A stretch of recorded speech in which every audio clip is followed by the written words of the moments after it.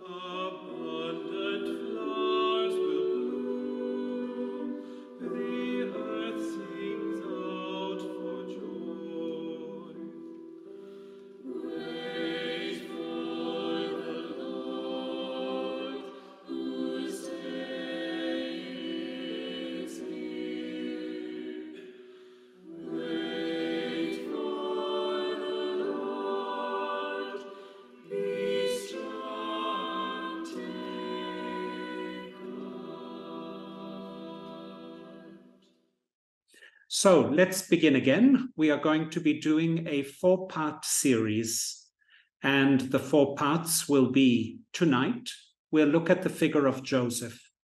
Next week, we'll look at the figure of Mary. And then we are going to look at the relationship between a Jesus who is from Nazareth and yet born in Bethlehem. And then finally, we'll be looking at Jesus himself, the moment of Jesus's birth, and in a special way, his name. So let's dive into an introduction to this wonderful theme.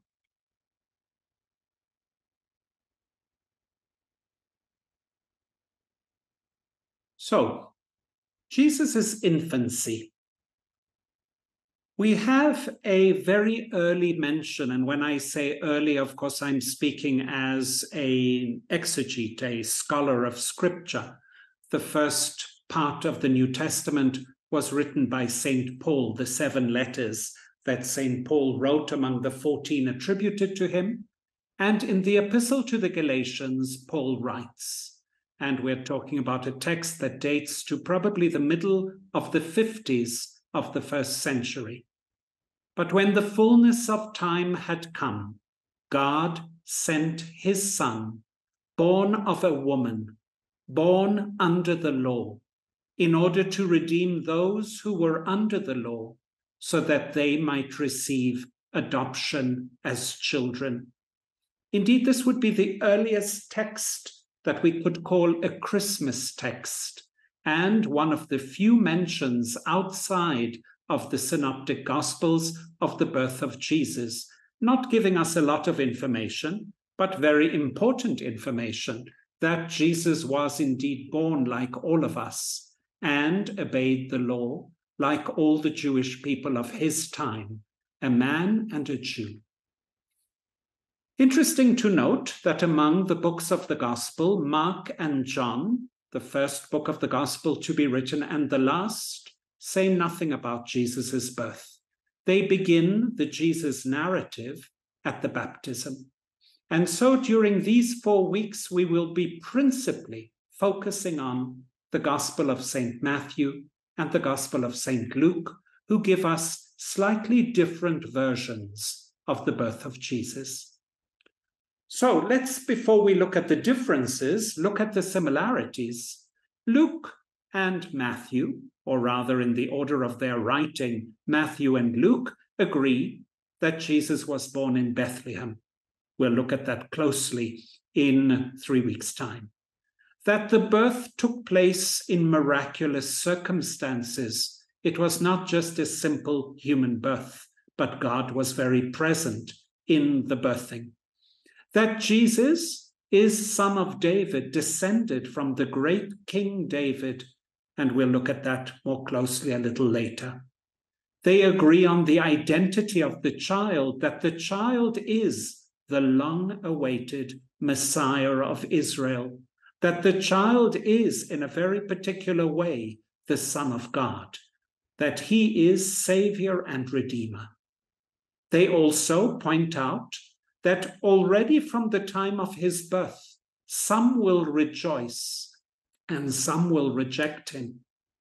And very importantly, and this will come out strongly in our four sessions, both of them rely very heavily on the Old Testament, the scriptures of Israel, those scriptures that provide a language, a vocabulary, a syntax to tell the Jesus story. Now, many have asked what part of these narratives is historical? And we could spend weeks and weeks discussing that very prickly issue. Certainly, Jesus was born, and all of the rest is probable, likely, or improbable. People have been arguing for centuries about that. But what is important to realize at the outset is that neither Matthew nor Luke are historians in the modern sense. They are telling us more about what Jesus means in our lives, who he is in terms of his significance for humanity, rather than really telling us a detailed history, a biography of the man Jesus. And now let's jump into our first part. Our first part, as I said, focuses on Joseph, the son of Jacob, Joseph, Saint Joseph. I just want to say, I forgot to say this in the beginning, that as you are listening, if you have any comments or any questions, please write them into the chat, for there will be time after the 45 minutes that I speak, 15 minutes for discussion. We'll try and do that each time. And so, as we go into the figure of Joseph, the first thing we realize is that Joseph is principally and almost uniquely a character in the narrative of Matthew. We find him described in some detail in chapters 1 and 2 of the Gospel of Matthew. Now, when we look at the structure of those two chapters, we notice, first and foremost, that the book begins with a genealogy. That would be a very, very biblical way to begin a story, telling the origins of the main character. I will not be discussing that genealogy with you tonight for lack of time, but for those of you who are interested, there is a video out there on YouTube in which I give a lot more attention to those 17 verses at the beginning of the Gospel of Matthew. Remember, they are the 17 verses at the beginning of the New Testament, right at the place where the Old and the New are joined together. And you can see there the title, Learning to Read Backwards from the Beginning, with the address or the, the site on which you can find that YouTube.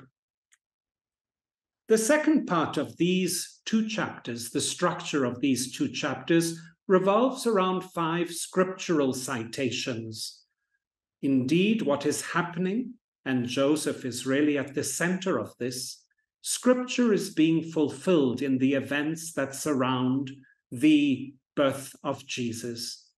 And so we have, and we'll look at some of this in more detail later in our four courses, Isaiah 7:14, the annunciation to Joseph, behold, the virgin is with child. Micah 5:2, a second narrative, the Magi, who are following the star and come to Jerusalem and learn from scripture from the book of Micah that he must be born in Bethlehem. Hosea 11:1, a third narrative that tells of the flight to Egypt, for it is from Egypt that God calls his son. And then Jeremiah 31 15, Rachel weeping at the massacre of the innocents. And then a final, a fifth narrative, we'll discuss it a little in our third session, the strange fact of Nazareth presented at the end of chapter 2 as another evidence from Scripture. And now we want to look more closely at Joseph, again Joseph, son of Jacob, as he's presented in the Gospel of Matthew. So, first and foremost, I think that many of us have learnt we define Joseph as a righteous man, or in other language, a just man, Joseph the just one. Of course, that term refers to him being a man who accomplishes, lives fully the law, the Torah a good Jew. And this is a very, very important description of Joseph right at the outset. This Joseph is also son of Jacob, and this is the first time that he is named at the end of the genealogy, where it is written Jacob, the father of Joseph, the husband of Mary, of whom Jesus was born. And this Jesus at the first mention is already called the Messiah, the one the people are waiting for, the anointed one, the promised one. Now, looking again at Joseph, and you will see here these two modern icons, we should immediately identify the fact that Joseph, son of Jacob, is not the first Joseph, son of Jacob, we have heard about unless we begin reading the Bible in the New Testament. We know a Joseph, son of Jacob, in the Old Testament. In fact, that Jacob appears early on in the genealogy, but having had 12 children, the child who is mentioned in the genealogy of Jacob is not Joseph, his 11th son, but rather Judah, through whom Joseph is descended, the Joseph of the New Testament. So let's look again at that. Joseph and Joseph, these two characters identified initially simply by the fact that they have the same name. I'm going to suggest that there is much more at stake than just having the same name. In fact, getting to know Joseph in the New Testament will depend very heavily on rereading those chapters in the book of Genesis, starting from Genesis 37, when Joseph's story is told. And so we have, yes, again, Jacob, the father of Joseph, the husband of Mary, of whom Jesus was born, who is called the Messiah. But that first Joseph, son of Jacob, is named for the first time in the book of Genesis in chapter 30, where it says, She named him Joseph, saying, May the Lord add to me another son. Well, let's pass that a little. First of all, the she there is Rachel. We remember Rachel is the beloved wife, not the only wife, but the really beloved wife of Jacob. And she would give birth to two sons, both of them dearly beloved to their father Jacob. The first one is called Joseph, which in Hebrew is Yosef, and it is derived from to add to. And when it is written here, may the Lord add to me another son, Rachel is already praying for the birth of that youngest son, Benjamin. Interesting to note that already here we realize that the name Joseph means a kind of non completedness. Something needs to come to complete this righteous man in the New Testament called Joseph.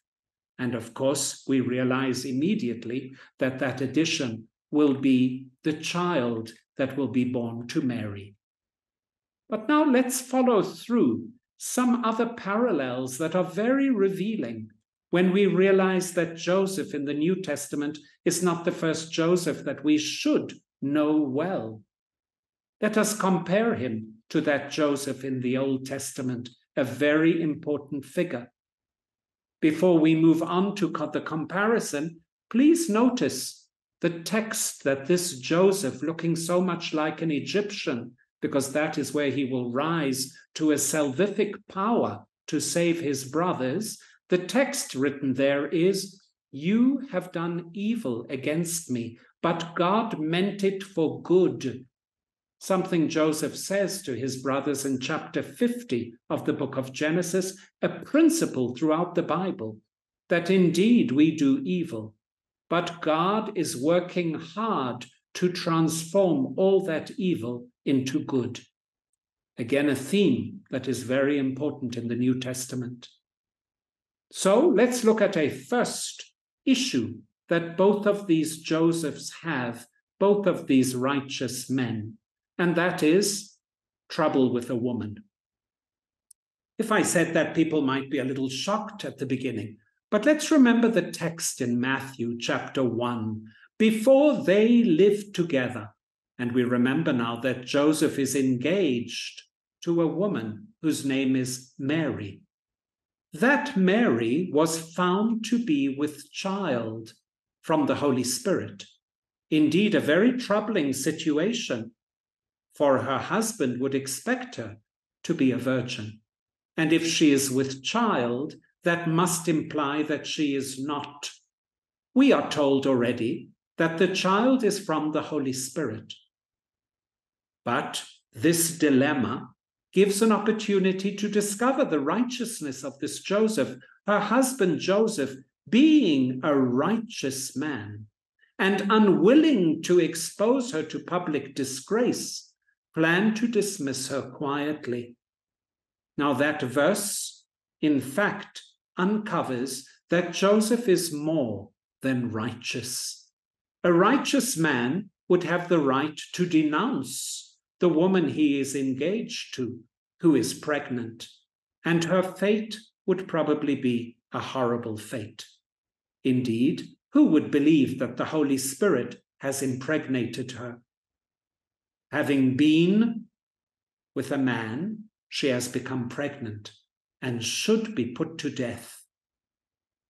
But unwilling to expose her to the public disgrace of a trial and worse, he dismisses her quietly, or thus is his intention. Trouble with a woman that will reveal the full contours of Joseph as a righteous man, but also a merciful man, being in the image and likeness of a God who is both just and merciful.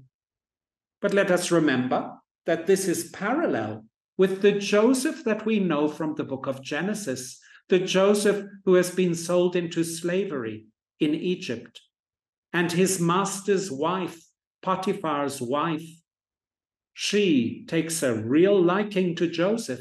He's very beautiful. And she says to him, Lie with me. And Joseph is also a righteous man. Not only will he not commit that kind of impurity, but he will also not betray his master and will pray, will pay a heavy price for that. Please, can you switch off your microphones? He will pay a heavy price for that and spend time in prison. Notice again this interesting parallel, how the figure in the Old Testament gives greater depth to the one in the New. And we continue to a second parallel, very interesting. The Joseph that we know in the New Testament is a man of dreams. These dreams show his openness to listening carefully to words that lead him on an adventure. That word, those words are essential to his role of fathering Jesus. Let's go through these dreams. Four times it is written in these two chapters that Joseph dreamed. An angel of the Lord appeared to him in a dream and said, in chapter 1, verse 20, addressing that embarrassing situation of the pregnancy of Mary and telling him not to fear, to take Mary into his home, for the child within her is from the Holy Spirit, and so he does. Then, three times in chapter 2, showing how essential Joseph is to the story. Without Joseph and his openness to the word in the dream, there would be no Jesus. Already, Mary would have been stoned if he hadn't been righteous, but now an angel of the Lord appeared to Joseph in a dream and said, Take the child and go to Egypt, for indeed a wicked Pharaoh rules in Jerusalem, who is going to come and kill the babies, trying to wipe out the promised Savior, the one who competes as king. And so Joseph, in a dream, is told, Save the child father the child, nurture the child, protect the child. But if Joseph had suddenly then closed his ears to the word, he would not have been open to a dream in Egypt. An angel of the Lord suddenly appeared in a dream to Egypt, to Joseph in Egypt, and said, Get up and go back to the land, for the one who sought to do evil to the child is dead. And so Joseph once again plays an essential role in Joseph's openness to the word, in Joseph's openness to be father to a child that is Messiah, Savior, and Redeemer. And then when they enter the land, a last time at the end of chapter 2, Joseph is again warned in a dream, open to that word that again sends him off on an adventure. Don't go to Jerusalem. Don't go to Bethlehem, where the son of that ruler who wanted to do evil is reigning now, but rather go to Nazareth. We will deal more with Nazareth in the third of our four lectures. And again, notice the parallel that Joseph, son of Jacob in the Old Testament, was a man of dreams, dreams that led him on a crazy adventure a salvific adventure, for those dreams led him to lord it over his brothers, and they hated him for it.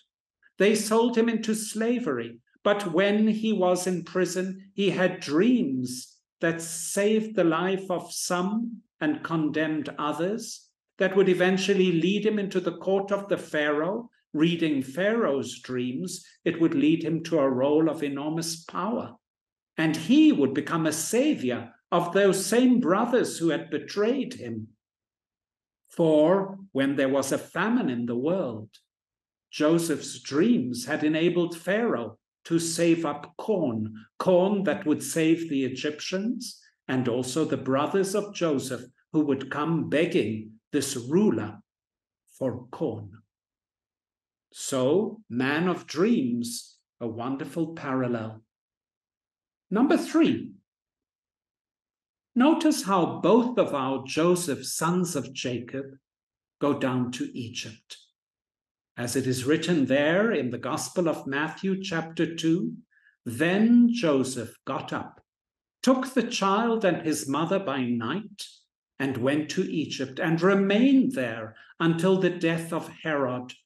This was to fulfill what had been spoken by the Lord through the prophet Out of Egypt I have called my son. The prophet there, of course, is Hosea, chapter 11. And what is being replayed here is the history of Israel going down to Egypt for salvation at the time of Joseph, son of Jacob, in the Old Testament, and then being brought out of Egypt into the land. Indeed, in Genesis 37, they, the Ishmaelites, who had bought Joseph, his brothers had sold Joseph, and the Ishmaelites finally got their hands on him and took him to Egypt. Remember again the important role Egypt plays in the history of salvation. And a final, a fourth parallel, and a very fascinating one. Joseph, son of Jacob in the New Testament, this righteous man, is a father, but perhaps not exactly a father, or perhaps fully a father, but in ways that are not of our understanding. Remember, Mary has been impregnated by the Holy Spirit. It is not the seed of Joseph in her womb. But without Joseph, there would be no Jesus, for that holy seed would have been swallowed up in the events of a world hostile to the growth of that seed. Mary would have been stoned without a Joseph to come and take her into his house. Jesus would have been murdered with the innocents in Bethlehem had it not been for Joseph, who listened closely to the word and was willing to walk in the way of that word and take the child to Egypt. But if he had suddenly stopped listening, they would have stayed in Egypt a safe place and never return to the land where the child must come back and grow and fulfill his mission to be the Messiah, to be the King of the people. And so we see again the essential role of Joseph. And it does not end when they do come back to the land. For when they come back to the land, Joseph learns they are not to go to the place where they left from, Bethlehem or even to Jerusalem, but rather to go to Nazareth. Now, what is very interesting is already at the beginning of the story, when the angel speaks the first time to Joseph in the dream, he says, She, Mary, will bear a son, and you, Joseph, are to name him Jesus this, if we know well the Old Testament, is a very significant act to name, for it is the Father who names. Yes, indeed, God names Adam, Adam, in the genealogy that we have in chapter 5 of Genesis. And then Adam names Seth, his son. This is a paternal act par excellence. And by Joseph naming Jesus, Jesus, he is manifesting himself as a father. I might add that there are many fathers who are biological fathers, who have thrown out their sperm in ways in which we would not approve of. They do not take responsibility for children that are born out of that sperm. In fact, too many children in our world are without any father. And here is a very different model of father. This is Joseph, who we often call the adopted father. I don't like that term because by Joseph naming Jesus, he becomes Jesus's real father, asserting the paternal right to name him Jesus. He is Jesus's father. And we see that he becomes the custodian, the custodian of this child that needs from its very in, conception protection from this wonderful Joseph, son of Jacob, a righteous man. What is interesting to note, however, is that this story of a father, but not a father, is also a parallel in this first Joseph that we meet in the book of Genesis. This is often not remembered or perhaps not even known. So I want to tell this story. And again, it is to underline something that is so important. The New Testament is written in shorthand. In order to really understand the New Testament, we must know well the language, the vocabulary, the ideas of the Old Testament, for it is rooted in that Old Testament which gives it its fullest meaning. We often think that the new throws light on the old, but in an exactly the same way, the old throws light on the new. And so the first time we meet a father who is not a father is in the figure of Joseph. So let's read this text from Genesis 48. What is going on? Joseph has become a very important man in Egypt, second only to Pharaoh. He has extensive power, and his brothers have come to Egypt in search of food. They, when they come before him, do not recognize him. They had told their father that Joseph was dead, although in fact, in the end, they didn't put him to death, but rather sold him into slavery. Remember those words of Joseph on the icon? You have done me evil, but God has turned it into good. For now Joseph has become a savior for his brothers. He can provide them with the food that they so lack, taking it back to Canaan. You'll remember it becomes a very complicated story where Joseph is insistent that they learn something through this experience. But as the brothers will then move down to the land of Egypt, bringing with them their father and Benjamin, Joseph's full brother, Jacob will die in the land of Egypt. Now, before he dies, this is chapter 48, he is very old, and Joseph hears that Jacob has become weak and feeble and is about to die. So he comes to visit his father. You see this in this beautiful painting of Rembrandt. And he brings with him his two sons born to him in Egypt. The two sons are Ephraim and Manasseh. Now, as Jacob sits up in his bed to greet this beloved son, who he thought had been killed and has been restored to him, he says the following part of his words to Joseph just before he dies. He says, Therefore, your two sons, who were born to you in the land of Egypt before I came to you in Egypt, are now mine. Ephraim and Manasseh shall be mine, just as Reuben and Simeon are. As for the offspring born to you after them, they shall be yours. They shall be recorded under the names of their brothers with regard to their inheritance. Now, notice something very interesting is happening here, and the rest of the Pentateuch and later narratives about the history of the people of Israel will bear witness to this. Jacob is, in fact, making Joseph a father who is not a father.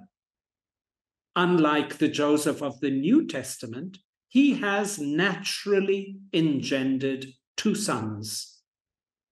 But Jacob takes these two sons as his own, as Jacob's, making them equal to the other sons that he has, to Reuben and Simeon. Now, what is interesting is we know that this Jacob has 12 sons, and the land will be divided among the 12 tribes that come from Jacob's loins. But when we find the land divided up and the names of the tribes that are given, we discover something very interesting. Joseph is absent. Instead of Joseph, we have Ephraim and Manasseh, those that have been taken as sons by Jacob. Yet that doesn't make 13 sons, for Levi, from whom the priests will descend, does not receive a portion of the land, and so it is still divided into 12. Again, what is so interesting here is the parallel between Joseph and Joseph. Both of them, Joseph, son of Jacob, both of them righteous men, both of them playing a very essential role in the history of salvation. Both of them allowing for salvation to come to the people of God. And so, as we come to the end of this first session, let us reflect for a few moments on the figure of Joseph, son of Jacob, in the New Testament. Again, he has been illuminated for us by the figure of Joseph, son of Jacob, in the Old Testament. This indeed is the way that the New Testament writers write. Almost every word conjures up the scriptures of Israel. For the God of Israel is the God of Jesus. And the God of Jesus acting through Jesus would like us to understand who God is and what can better reveal who that God is than reflecting on the long centuries that precede the coming of Jesus, going perhaps all the way back to Adam and Eve. And then, in a very special way, and from here, Matthew begins his story of Jesus with Abraham, the one who enters into a covenant with God. And through all those generations that Matthew cites at the beginning of his gospel, we arrive at this figure of Joseph, son of Jacob. So let's take a moment of prayer before we open up for some discussion. Let us pray as we prepare to move into Advent time, that we all, men and women, might be custodians of the child who is the Word of God, as Joseph was, that this Word might blossom in our embrace, and that we might offer it to a world thirsting for God's presence. Pray for us, Saint Joseph.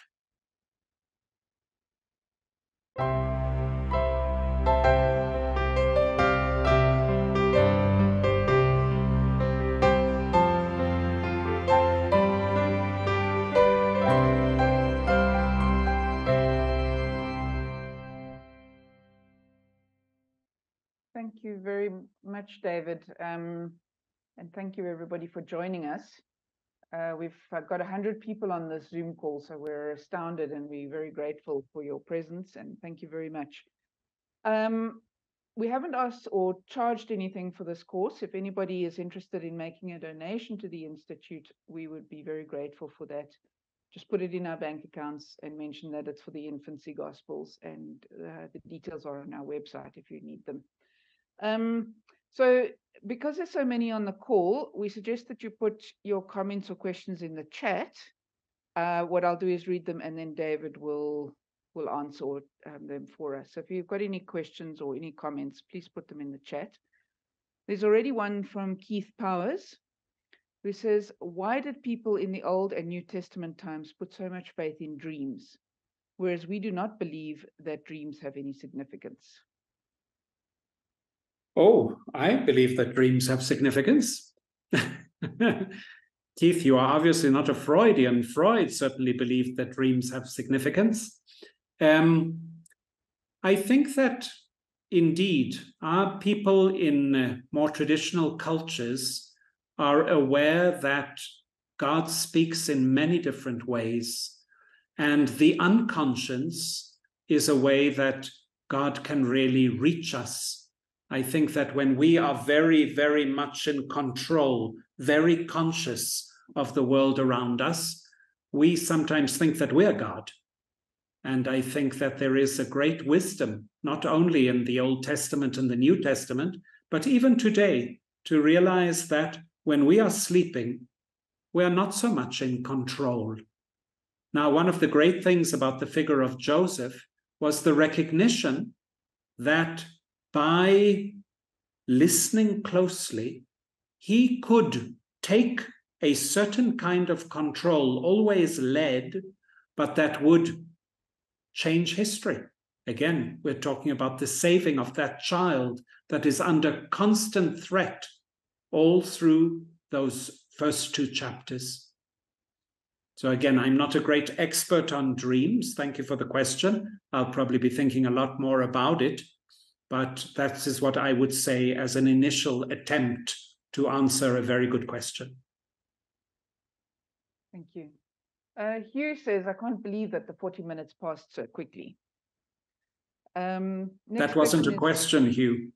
No, it was just a comment. He was allowed to put comments.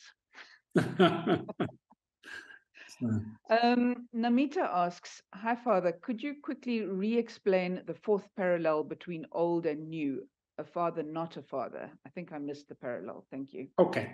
So probably you didn't miss it. I probably didn't explain it very well. So I'll explain it again because it's not a absolute parallel. Okay. Our Joseph that we focused on is Joseph, son of Jacob. And I'm going to say, hope no one will be scandalized, father of Jesus. I again don't like the adopted. Okay, we all understand what it means when we say adopted. It means it's not his seed. But again, without him, there would be no Jesus. And if you remember, it was Pope Francis, the Holy Father, who introduced Joseph into the Eucharistic prayer alongside Mary. And I am very happy about that. So, again, what is the parallel? Our first Joseph, meaning the second one, our New Testament Joseph, is a father, not a father, because he is empowered to be father, name the child, and then takes very seriously his fathering role, uh, preserving Jesus, keeping him for us. Okay? So hopefully that's clear with the first Joseph. The second Joseph, who is actually the first one, Joseph, son of Jacob, uh, in the Old Testament, is a father, not a father, because he has generated children by his own seed with his wife in Egypt. But when he comes to his father, his father renders him not a father by saying, These two children are my children. They will be included. They will be included among my 12 children. Again, the 12 who will then be the inheritors of the land. And there is, of course, the portion for Ephraim and the portion for Manasseh. Ephraim, in fact, will become in some texts, like in the book of Hosea, a synonym for Israel, for the northern kingdom. So hopefully now it's a little bit more clear uh, why I say both of them, in a certain sense, are fathers who are not fathers. Um, Suhail says, uh, "Hello, Abuna. What? Why did Jacob specifically tell Joseph that his children will be like Reuben and Simeon? Any significance there when you compared to the other children of Jacob?" Hi, Suhail. Good to hear you. Suhail is sitting in Jerusalem. Ah. So, um, yes, let me think about that a little. First of all, of course, Reuben is the oldest. Okay, Reuven, I see a son. So, as far as I remember, he's the oldest. There is always that kind of competition between Reuven and uh, Judah. Okay, so then the question comes why him and Simeon? I'll have to get back to you on that. I have a little theory in my head whirring around, but I don't want to shout it out because someone might say, no, Father, that's not correct. I'll say it because why not? Why can't Father make a mistake? And Suhail, thanks for the question because I've never really thought about it. I think it might have something to do with the role that the two play in the Joseph story. I think we have to go back to chapter 37 and look at the role that uh, these two of this, these two sons might have played in the Benjamin story. Okay, remember there's the whole debate of what should they do with Benjamin? Should they kill him and they throw him into a pit and then go and decide? And then one of the sons will say, no, let's not kill him, let's sell him. So I say there's a there's a maybe a hint there. We can go and look and we'll get back next week and see if I was right or wrong unless someone knows that I'm wrong and they can shout it out right now. It's not Benjamin, it's Joseph, isn't it? Who was thrown into the pit. Joseph, sorry, sorry. Did I say Benjamin? Sorry, sorry. Thank you. Good, good Okay. correction already. so, Um, Christine has a, a different question. Uh, she says, I was surprised by the language that you used around adoptive parents versus real parents and fatherhood in a way we cannot imagine. Your account seems to work to provide an argument for Joseph being a real father. Could you say more about how your insights on Joseph sit alongside with those who find him a valuable inspiration around adoptive parenting, families that don't, don't fit into society's norms, etc.? So thank you for that question because it means I have to be more sensitive to adopted parents. Okay, I think I'm coming from the other side, and let me say where I'm coming from. Years and years and years of working with children who have only mothers.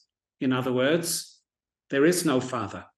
Okay. I sometimes would say, you know, people would come and visit and say, okay, these children, there's the mother, where's the father? And I say they're all immaculately conceived, which is, of course, not the reality.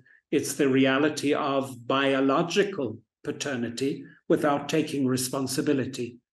And I think I'm coming more from the, sorry, than thinking as seriously as I need to think about how Joseph can be a wonderful model for adopted parents or adopting parents who become real parents, as Joseph is a real parent. So I'm coming more from the side of bi- biology is not everything. Uh, and in fact, in too many cases, biology is meaningless uh, in the lives of children who grow up without fathers. If Jesus had not had a father, he wouldn't have survived.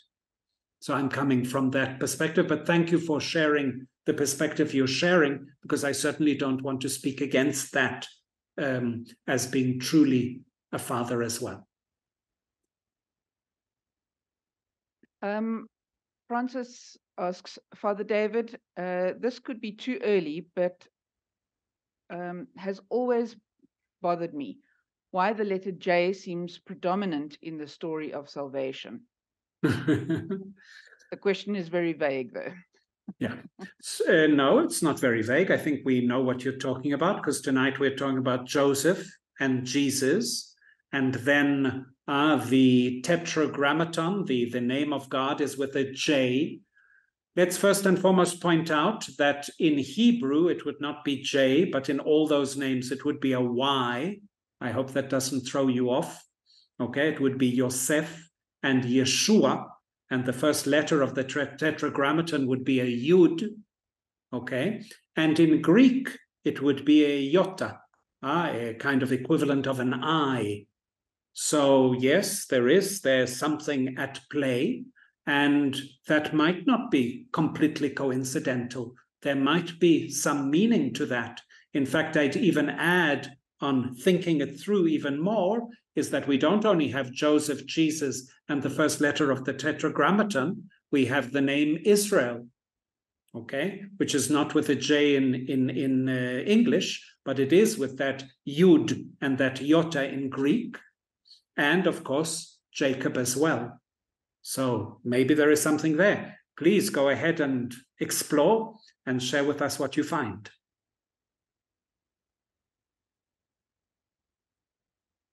Okay, I don't know if we've got a few more minutes, but there aren't any more questions in the chat. So if the, we don't need to force it, and we're going No. into load shedding, so this is blessed that we're not going overtime. But let me say a word about next week. Next week, we will be looking at the figure of Mary. Okay. And again, when I say we are looking at the figure of Mary, that means that we are leaving aside for a moment, we'll come back to it afterwards. We are leaving aside for a moment the Gospel of Matthew, and we are going to be plunging into the Gospel of Luke. Because just as it's Matthew who gives us our Joseph in almost a, a total way, it is Luke who gives us Mary. And so we'll be plunging into the Gospel of Luke and looking in a similar kind of way at the figure of Mary and her role, not only 2,000 years ago, but in our lives now as we prepare uh, for Advent and then prepare for Christmas to welcome Jesus into our lives. Thank you very much, David. Just to remind everybody that we will be putting the recordings up on YouTube. Uh, just give us a day or two, um, and you'll be able to find them on the Jesuit Institute YouTube channel. And uh, there's a lot of thanks in the um, chat from uh, Eswat- Eswatini, and thank you for an interesting presentation. Thank you very much. So we'll see you all next week. Thank you very And much. thank you very much and look forward to seeing you next week. God bless you all and good entry into Advent.